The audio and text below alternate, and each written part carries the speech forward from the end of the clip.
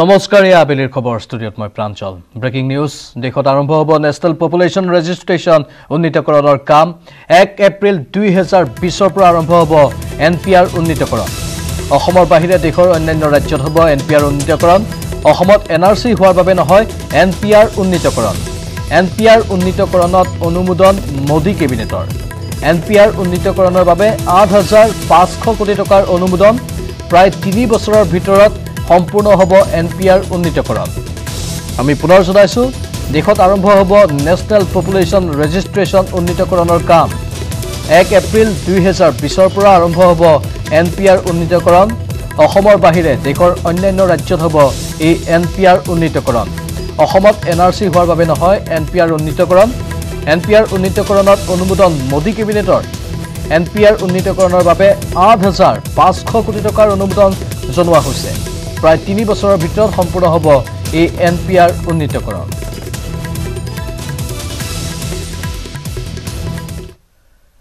এইবাৰ লেখাপানীত ভয়ংকৰ পথ দুৰ্ঘটনাত নিহত হৈছে তিনিজন। দ্ৰুতবেগী ডাম্পাৰে মহতিয়ালে চাইকেল আৰু স্কুটি আৰোহী। ডাম্পাৰৰ খুন্দাত থিতাতে নিহত হৈছে দুই বাইক আৰোহী। থিতাতে নিহত এজন স্কুটি আৰোহী। এই দুৰ্ঘটনাত গুৰুতৰভাৱে আহত এগৰাকী স্কুটি আৰোহী। আহত মহিলাগৰাকীক ভৰ্তি কৰোৱা হৈছে মাৰ্ঘেৰিটাৰ চিভিলত। লেখাপানীত এই ভয়ংকৰ পথ দুৰ্ঘটনা য'ত নিহত হৈছে তিনিজন। দ্ৰুতবেগী ডাম্পাৰে মহতিয়াই নিলে চাইকেল আৰু স্কুটি আৰোহীক। ডাম্পাৰৰ খুন্দাতেই থিতাতে নিহত হ'ল দুই বাইক আৰোহী। ইফালে থিতাতে নিহত হয় এজন স্কুটি আৰোহী। এই দুৰ্ঘটনাত গুৰুতৰভাৱে আহত হৈছে এগৰাকী স্কুটি আৰোহী। মহিলাগৰাকীক বৰ্তমান ভৰ্তি কৰোৱা হৈছে মাৰ্ঘেৰিটাৰ চিভিলত পুৰুষ মানুহ মৰিলে এজনী মাইকী মানুহ জীয়াই আছে তেখেতক মেডিকেল লৈ গৈ হ'ল পুলিচৰ যোগেদি লৈ গৈছে। এতিয়া তেখেতৰ অৱস্থাটো মেডিকেলতো গম পোৱা যাব কেনেকৈ আছে ভাল আছে। কিহৰ কিহৰ কিহৰ লগত কিহৰ এক্সিডেণ্ট হৈছে এইটো মানে বিশেষত কোৱা মতে জানা মতে মানে এইটো ডাম্ফাৰে মানে খুন্দা মাৰি গুচি গৈছে। না স্কুটি আৰু স্প্লেণ্ডাৰ। মটৰচাইকেল দুটাত আছিলে সিহঁতে দুটাকে খুন্দাই গুচি গৈছে ইমানটোলৈকে গম পোৱা যায়। তেজপুৰত নাগৰিকত্ব সংশোধনী আইনৰ বিৰুদ্ধে ৰাজপথত নামিল কৃষক। কান্ধত নাঙল লৈ ৰাজপথৰ মাজত চৰকাৰক সকিয়নি ক্ষুব্ধ কৃষকৰ। অসমীয়া ৰাইজ বহি নাথাকে বুলি সকিয়নি দি নোৱাৰিলে গাদী এৰাৰ দাবী ক্ষুব্ধ কৃষকগৰাকী লগতে নাঙল এৰি হেংদাং লোৱাৰ হুংকাৰ দি কৃষকজনে দিলে জয় আই অসম সিমানেই নহ'ব এনেকা নহ'ব। অসমীয়া ৰাইজ বহি নাথাকে। অসমীয়া ৰাইজে বহি নাথাকে।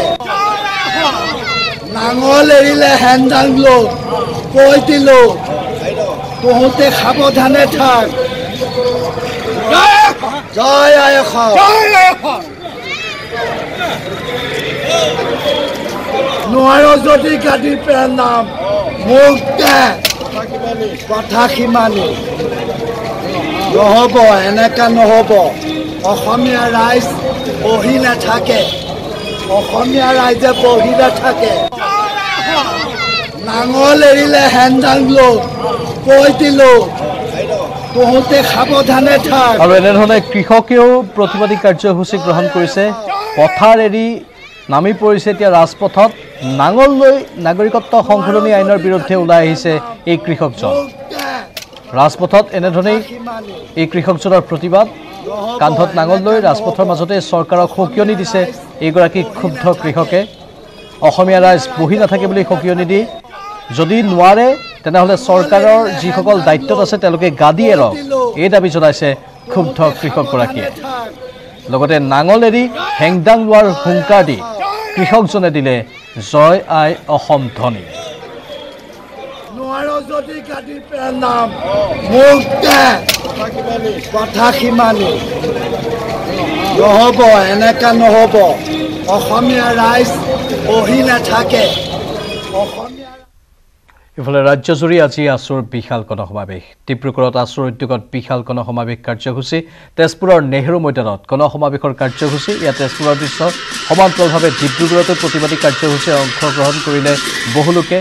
তেজপুৰৰ প্ৰতিবাদত অংশগ্ৰহণ কৰিলে আছুৰ মুখ্য উপদেষ্টা সমুজ্জ্বল কুমাৰ ভট্টাচাৰ্য দীপাংকৰ কুমাৰ নাথে। ইফালে ডিব্ৰুগড়ত অংশগ্ৰহণ কৰিলে আছুৰ সাধাৰণ সম্পাদক লুৰিণজ্যোতি গগৈয়ে।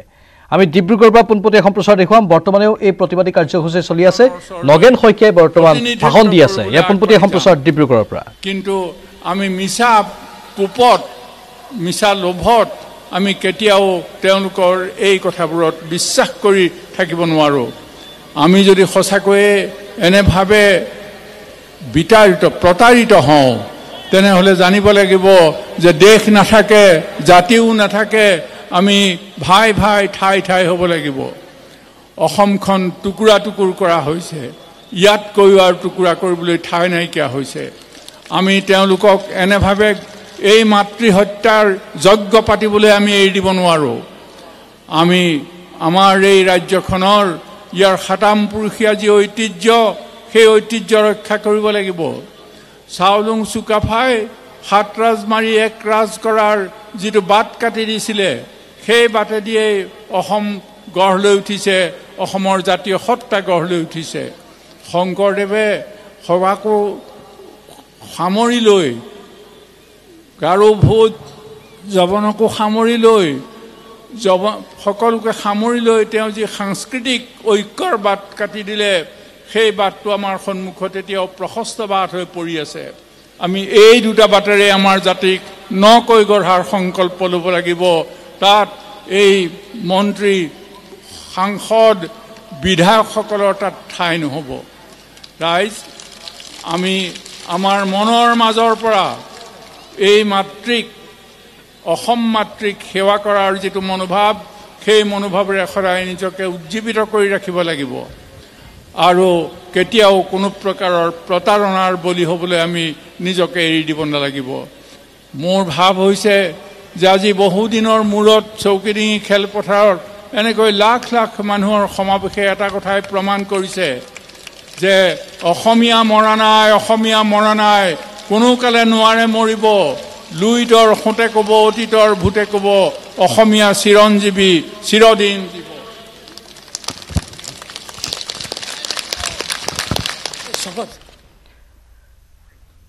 ইয়াত ডিব্ৰুগড়ৰ পৰা পোনপটীয়া সম্প্ৰচাৰ দেখুৱালোঁ। বিশিষ্ট সাহিত্যিক নগেন শইকীয়াই ইতিমধ্যে নিজৰ বক্তব্য প্ৰদান কৰিছে। নাগৰিকত্ব সংশোধনী আইনৰ বিৰুদ্ধে।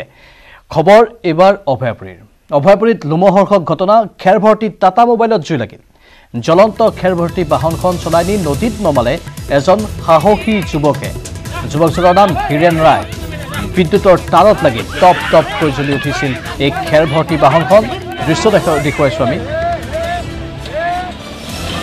অভয়াপুৰীৰ দেওহাটীত সংঘটিত হৈছে এই ঘটনা। ছ'চিয়েল মিডিয়াত ভাইৰেল হৈ পৰিছে এই দৃশ্যসমূহ। অভয়াপুৰীত এই লোমহৰ্ষক ঘটনা সংঘটিত হৈছে। খেৰ ভৰ্তি টাটা মোবাইলত জুই লাগিল। আৰু জ্বলন্ত খেৰ ভৰ্তি বাহনখন চলাই নি নদীত নমালে এজন সাহসী যুৱকে। আৰু কোনোমতেহে ৰক্ষা কৰিছে এই ধাননি পথাৰখন। অৱশ্যে ইতিমধ্যেই বহু ধান দায় আদায় কৰা হৈছে কিন্তু যদি তাত হয়তো অগ্নিকাণ্ড লগাহেঁতেন বা তেনেধৰণৰ কিবা যদি ঘটনা হোৱা হ'লে এক ভয়ংকৰ পৰিস্থিতিৰ উদ্ভৱ হ'লহেঁতেন তাৰ সম্পূৰ্ণ আশংকা কৰা হৈছে। এজন সাহসী যুৱকে কোনোমতে এই গাড়ীখন তাৰ পৰা চলাই নি এখন নদীৰ কাষত ৰখালেগৈ আৰু তাৰ স্থানীয় লোকসকলে জুই নিৰ্বাপন কৰিলে। যুৱকজনৰ নাম হীৰেণ ৰায়। বিদ্যুতৰ তাঁৰত লাগি দপ দপকৈ জ্বলি উঠিছিল এই খেৰ ভৰ্তি বাহনখন।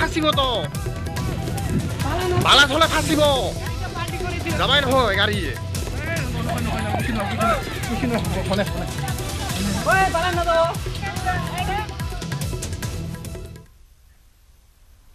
অখিল গগৈসহ কাৰাবন্দীসকলৰ মুক্তিৰ দাবীত কৃষক মুক্তি সংগ্ৰাম সমিতিৰ প্ৰতিবাদী কাৰ্যসূচী চচলৰ প্ৰতিবাদস্থলীত কৃষক মুক্তি সংগ্ৰাম সমিতিৰ প্ৰতিবাদ।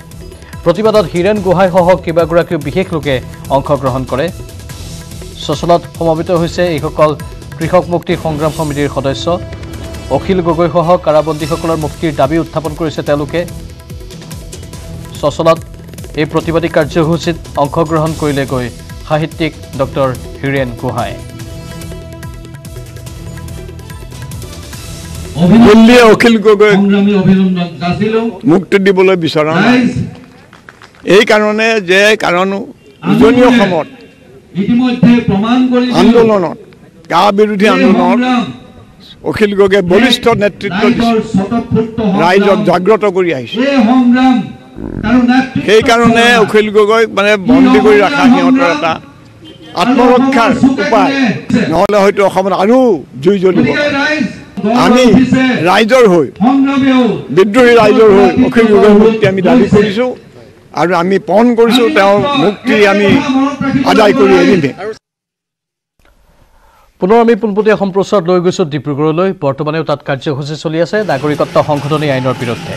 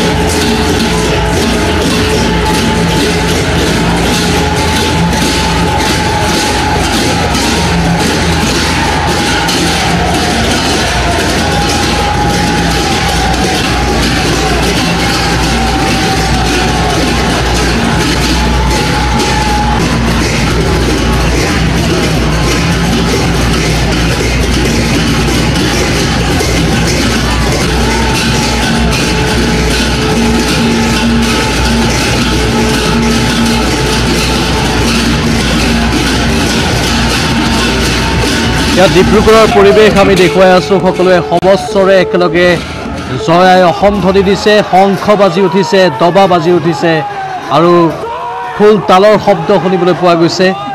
গায়ন বায়নেৰে প্ৰতিবাদী কাৰ্যসূচীত ডিব্ৰুগড়ত। ছাত্ৰ ছাত্ৰীসকলৰ পৰা আদি কৰি সকলোৱে একেলগে এই প্ৰতিবাদী কাৰ্যসূচীত অংশগ্ৰহণ কৰিছে আৰু জয় আই অসম ধ্বনি একেলগে সকলোৱে দিছে ডিব্ৰুগড়ৰ চৌকিডিঙি খেলপথাৰত।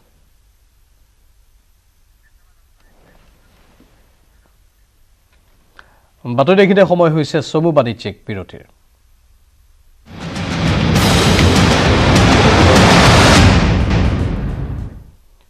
পুনৰ স্বাগতম। এইবাৰ যোৰহাটত আৰ টি আই কৰ্মীক গ্ৰেপ্তাৰ কৰা হৈছে। ধৃত আৰ টি আই কৰ্মীজনৰ নাম আনন্দ চন্দ্ৰ দত্ত। দত্তৰ বিৰুদ্ধে ধন দাবী আৰু ভাবুকিৰ অভিযোগ। যোৰহাট বিজ্ঞান প্ৰযুক্তিবিদ্যা প্ৰতিষ্ঠানৰ অধ্যক্ষক ধন দাবীৰ অভিযোগ তেওঁৰ বিৰুদ্ধে যোৰহাট সদৰ আৰক্ষীয়ে গ্ৰেপ্তাৰ কৰিছে দত্তক আমি পুনৰ জনাইছোঁ যোৰহাটত আৰ টি আই কৰ্মীক গ্ৰেপ্তাৰ কৰা হৈছে। ধৃত আৰ টি আই কৰ্মীগৰাকীৰ নাম আনন্দ চন্দ্ৰ দত্ত আৰু দত্তৰ বিৰুদ্ধে ধন দাবী আৰু ভাবুকিৰ অভিযোগ উত্থাপন হৈছে। যোৰহাট বিজ্ঞান প্ৰযুক্তিবিদ্যা প্ৰতিষ্ঠানৰ অধ্যক্ষক ধন দাবীৰ অভিযোগ তেওঁৰ বিৰুদ্ধে। যোৰহাট সদৰ আৰক্ষীয়ে গ্ৰেপ্তাৰ কৰিছে দত্তক।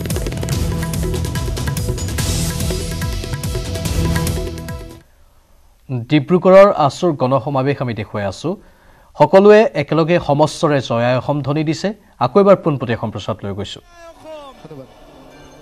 আমি নীল আকাশ নীল আকাশক আমি ধন্যবাদ জ্ঞাপ আজিৰ এই প্ৰতিভাস্থলীত আমাক ছাৰে বক্তব্য গতিকে খেলপথাৰৰ পৰা আমি সেই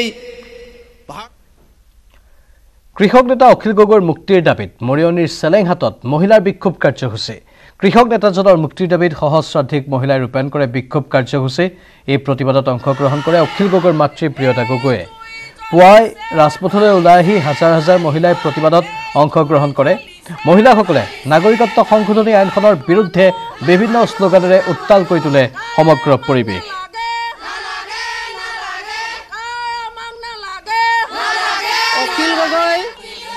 বিনা মুক্তি দিয়ক। আৰু নাগৰিকত্ব সংশোধনী আইন বাতিল কৰক। কাৰণ আমি নামানো নুবুজো এই আমাৰ নালাগে। আমাৰ অসমত বিদেশী বুজা আমি নলওঁ নেলাগে নেমানো। কা আমাক নালাগে। অখিল গগৈ মাতৃ সুস্বাস্থ্য কামনা কৰি এই চোতালত ভৰি দিছোঁহি। আৰু অখিল গগৈ যেনে বিনা স্বত্বে মুক্তি দিয়ে তাক আমি প্ৰতিবাদ কৰিছোঁ। এইবাৰ যোৰহাটত জাপানী পৰ্যটকৰ লতিঘটি হৈছে। ৰাজ্যজুৰি নাগৰিকত্ব সংশোধনী আইনৰ বিৰুদ্ধে উত্তাল প্ৰতিবাদ চলি থকাৰ পাছতেই যোৰহাটত উপস্থিত হৈছে দুটি কণ কণ শিশুসহ এক জাপানী পৰ্যটক দম্পতী। অসমৰ পৰা চাহ পুলি সংগ্ৰহ কৰি জাপানলৈ নিয়াৰ উদ্দেশ্যে যোৰহাটলৈ আহিছে হিৰোচি ফুজিতা আৰু মিকি ফুজিতা নামৰ এই জাপানী দম্পতী। কিন্তু প্ৰতিবাদৰ মাজতেই যোৰহাটত বিদেশী মুদ্ৰা সলনি কৰাৰ ক্ষেত্ৰত ব্যাপক অসুবিধাৰ সন্মুখীন হ'ল এই জাপানী পৰিয়ালটো। কাৰিকৰী অসুবিধাৰ বাবে যোৰহাটৰ কোনো বেংকতে তেওঁলোকে লগত অনা জাপানী ইয়েন মুদ্ৰাসমূহ ভাৰতীয় টকাৰ সৈতে সলনি কৰিব নোৱাৰিলে। আনহাতে লগত থকা ইণ্টাৰনেশ্যনেল কাৰ্ডখনৰ জৰিয়তে বহু ঠাইত লেনদেন কৰিবলৈ সক্ষম নহ'ল জাপানৰ এই দম্পতীহাল নগদ ভাৰতীয় মুদ্ৰাৰ অভাৱত শিশু দুটিৰ সৈতে এক ভয়ংকৰ পৰিস্থিতিৰ সন্মুখীন হয় তেওঁলোক। ঘটনাটোৰ বিষয়ে জনাৰ পিছতেই পৰিয়ালটোৰ কাষত গৈ উপস্থিত হোৱা নিউজ এইটিনৰ সাংবাদিকে সমগ্ৰ বিষয়টো যোৰহাটৰ উপায়ুক্ত আৰক্ষী আৰু কেইবাটাও বেংকৰ কৰ্তৃপক্ষক অৱগত কৰে। যোৰহাটৰ উপায়ুক্তই লগে লগে এই ক্ষেত্ৰত ব্যৱস্থা গ্ৰহণ কৰে। পৰিয়ালটোক সুন্দৰভাৱে থকা খোৱাৰ ব্যৱস্থা কৰি দিয়ে জিলা প্ৰশাসনে। Uh, we had a little problem in uh, financial aspect and um, I met some people in, in here Jolhat uh, trying to help my uh, problem. A lot as much as possible. It makes us uh, more than happy. It's just because we had only a few a problem with financial aspect. But this financial aspect problem is very very uh, necessary. It's very uh, basic requirement to solve in the life. And uh, the people we meet in Jolhat in this town uh, try to help as much as possible. It makes us very warm hearted uh, in Japan we are known as a, a tea country also in Asia and uh, this uh, tea we like to uh, uh, make a tea plantation in India uh, in, in Japan too so we know one of the best tea is from Assam. It's quite famous, very very famous into the tea aspect. So this is how we made a time to come here to pick up the branches to go back to the Japan and uh, Assam and Darjeeling. That's the that's the, the reason why I'm here in Japan in Jolhat and why we're going for the uh, Siliguri in the Darjeeling.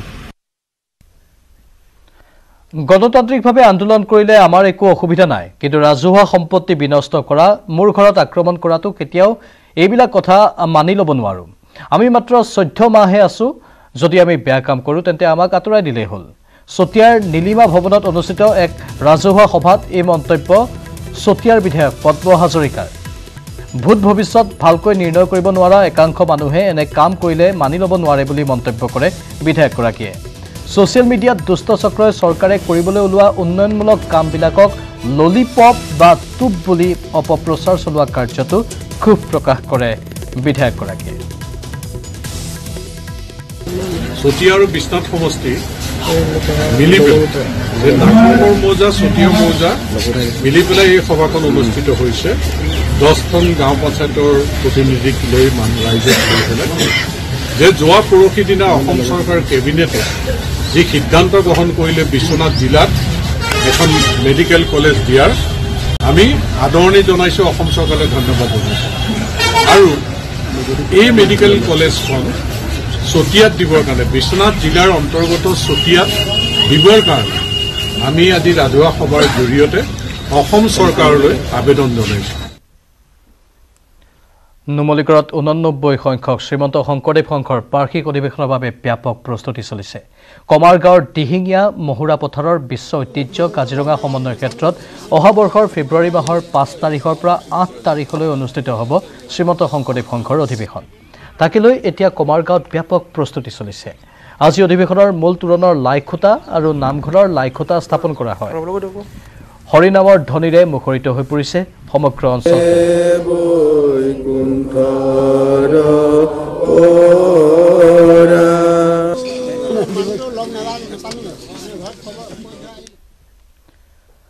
লণ্ডনত এতিয়া pre খ্ৰীষ্টমাছৰ আনন্দ। কাইলৈ Christmas উপলক্ষে আটকধুনীয়া আলোকসজ্জাৰে উজ্বলাই তোলা হৈছে সমগ্ৰ চহৰখন। ষ্টাৰ বেলছ ৰং বিৰঙী আলোকসজ্জাৰে সজাই পৰাই তোলা হৈছে খ্ৰীষ্টমাছ ট্ৰী গীৰ্জাঘৰসমূহো সজাই পৰাই তোলাৰ সমান্তৰালকৈ যুৱতী কিশোৰীসকলে কেৰল গীত গাই সুমধুৰ কৰি তুলিছে সমগ্ৰ পৰিৱেশ। ৰাজপথত ছান্তা ক্লজেও কণ কণ শিশুসকলৰ মাজত মিঠাই আৰু উপহাৰৰ টোপোলা বিতৰণ কৰি জনাইছে খ্ৰীষ্টমাছৰ শুভেচ্ছা। লণ্ডনস্থিত প্ৰৱাসী অসমীয়াসকলে উলহ মালহেৰে পালন কৰিছে খ্ৰীষ্টমাছ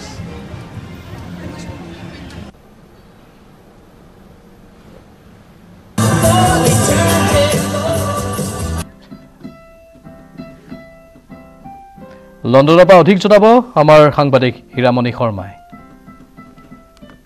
পবিত্ৰ বৰদিনৰ আনন্দ সমগ্ৰ বিশ্ববাসীয়ে উদযাপন কৰিব বৰদিনৰ আৰু লগতে ইংলেণ্ডতো উৎসাহ উদ্দীপনাৰে তৈয়াৰী চলিছে বৰদিনৰ। এখন চিঠি লিখি আছে চেণ্টাৰ কাৰণে চিঠি লিখি আছে হয়নে? অঁ চেণ্টাৰ কাৰণে লিখিছোঁ কাৰণে এবাৰ মই পঢ়ি আছোঁ আৰু ভাল হৈ আছোঁ আৰু সেইকাৰণে মই এটা বহুত ভাল গিফ্ট এটা খুজিছোঁ চেণ্টাৰ চ' ৰিমে কৈছে যে ভালকে পঢ়িছে এইটো বছৰত ভাল ব্যৱহাৰ দেখাইছে গতিকে চেণ্টাই যাতে ভাল উপহাৰ এটা দিয়ে। তাৰ বাহিৰে এইবাৰ বৰদিনৰ কাৰণে কি ধৰণৰ তৈয়াৰী চলিছে? তোমাৰ ধুনীয়া এডাল মই গছ দেখা পাইছো। কি কৰি আছা?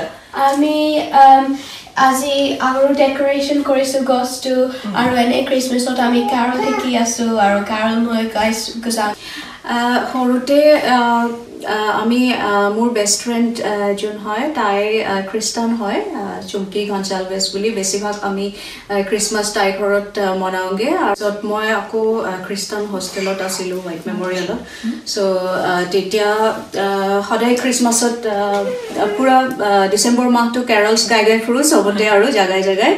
আকৌ চাৰ্চত যাওঁ ডন বক্সৰ চাৰ্চত আৰু কেতিয়াবা পাণবজাৰ চাৰ্চত এভৰি ছানডে চ' খ্ৰীষ্টমাছ টাইমটো মানে ইমানেই ফূৰ্তি যে আমাৰ ডিচেম্বৰৰ যেতিয়াৰ পৰা হলিডে দিয়ে একচুৱেলি আমি ঘৰলৈ তেতিয়া নাযাওঁ যাতে খ্ৰীষ্টমাছটো মনাই যাওঁ আৰু তেনেকৈ মানে।